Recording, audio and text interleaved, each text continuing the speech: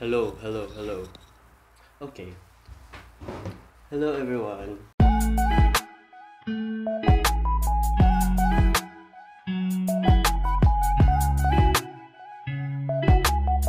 So, ngayon po, I will move out from my dorm right now kasi wala lang, gusto ko lang mag-alis. No, actually, I have several reasons why I don't like my setup here.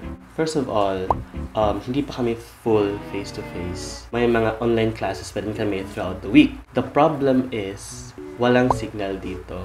Like, literally. So, if meron kaming online classes early in the morning, I have to go out para mag-data. Di ba? Another reason is, walang bintana dito. Like, there's no ventilation. The only ventilation I have is my electric fan. Malamig naman. May times naman na, yeah, malamig.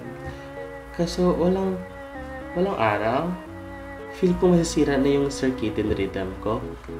Tapos, wala lang. Parang, it's, it's weird. Meron lang times na I haven't seen the sun for an entire day.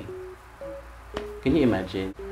Ang arte ng reasons, pero legit, like, kasi pag walang bintana, walang araw, malate ako. Like, I don't know if ito, 8.39 p.m. or a.m. And then, kanina, nagising ako mga 1, and I thought, hala, alauna na ba? Ng hapon? No, it's 1 a.m. So, yeah, natulog ako ulit. That was really confusing. Also, one of the reasons, walang tubig dito, Bebs. I always complain about that. In my previous vlog, you hear me almost every day complaining about having no water. Wala na namang tubig, Bebs. Finding lunch na naman today kasi wala namang tubig. Hindi ako makahugas ng pingkan. Na-out of schedule pa ako kasi walang tubig. And it's annoying. Now, I am going to prepare. As you can see naman, I still have my things na nakakalat. But before that, magpapalaundry muna ako kasi medyo puno na po yung basket ko. Tsaka, it's it's a Saturday. Ah, oh. tsaka it's a third Tuesday. I know.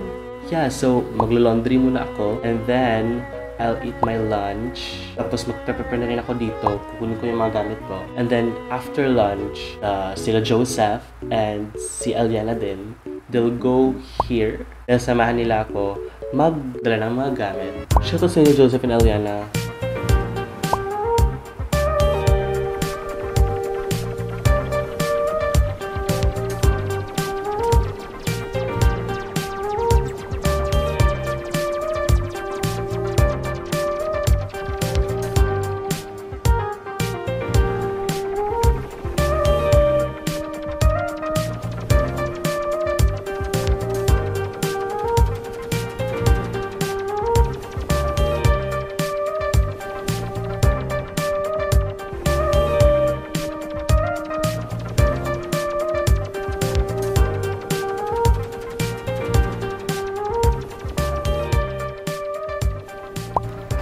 Okay.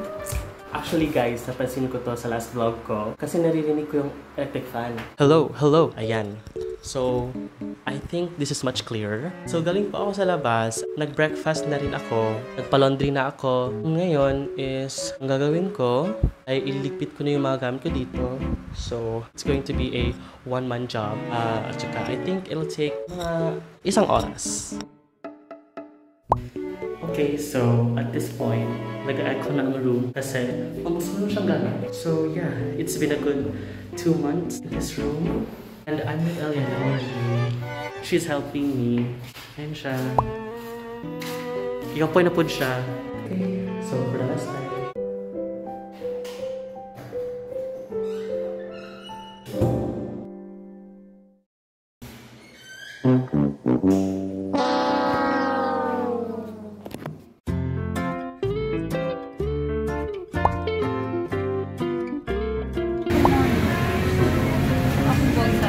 So, namumulog po namin yung mga gamit.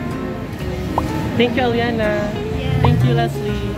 Thank you, Joseph. Nag-vlog siya na. And then, mag-eat kami mamaya.